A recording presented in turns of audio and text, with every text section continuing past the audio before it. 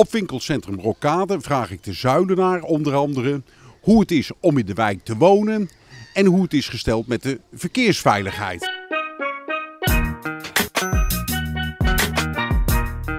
De verkeersveiligheid is altijd een hekelpunt. Hè? Dat, uh, in mijn optiek kan dat altijd beter.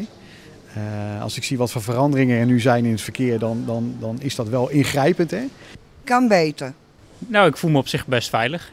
Uh, ik vind het stukken rond de Amsterdamse straatweg af en toe al een beetje spannend. Zeker nu met nu ze daar de weg om aan het leggen zijn.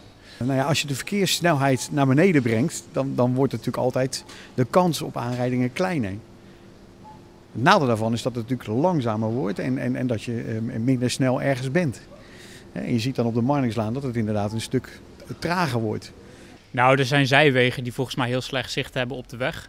Dus misschien zouden ze daar iets aan kunnen doen en uh, stopstrepen, dat auto's er erg moeten stoppen voordat ze die weg op kunnen. Of de weg verbreden dat er beter zicht komt, uh, zoiets. Ja, leggen flinke uh, bultaal, maar ja, dat schijnt ook niet te werken. Dus ja, en de smalle straten zijn vrij smal. Dus ik weet niet wat de gemeente daar nog aan kan verbeteren qua snelheidsverminderingen.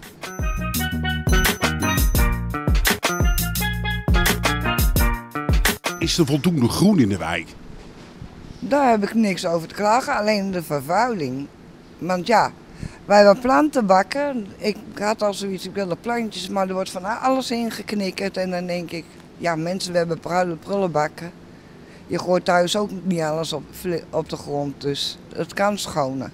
Nou ja, als je, als je ziet dat ze de verkeerssnelheid verminderen door de wegen net wat aan te passen, zie je dat op de plek waar voorheen wegen waren nu groen komt.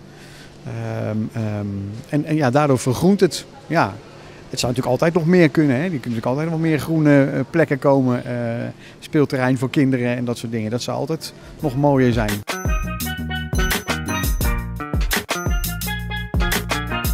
Wat zou er uh, gedaan moeten worden om de bewoners nog beter bij de wijk te kunnen betrekken? Uh, buurtbeheer misschien? Dat zou wel fijn zijn. Want ik heb over buurtvaders gehoord, maar ik zou niet weten waar ik dan bij aan moet kloppen, want ik zie ze niet. Nou ja, je, ziet en je hoort dat natuurlijk wel in, in, in, straten of in bepaalde wijken mensen elkaar groeperen en, en, en daarin besluiten over wat er bij hun in de straat uh, gebeuren zou moeten. Hè. Je ziet het aan, aan, aan in de zomer van die buurtbarbecues, dat soort dingen. De gemeente maakt daar ook geld voor vrij. Uh, en op die manier betrekken ze mensen bij elkaar om te kijken wat er in, in de straat waar zij wonen verbeterd zou kunnen worden. En dat kan ook weer terugleiden tot die speelplaatsen, het verminderen van parkeerplekken. Uh, dus op die manier is daar wel een samenscholing van om te kunnen kijken ja, hoe dat gaat. Ja.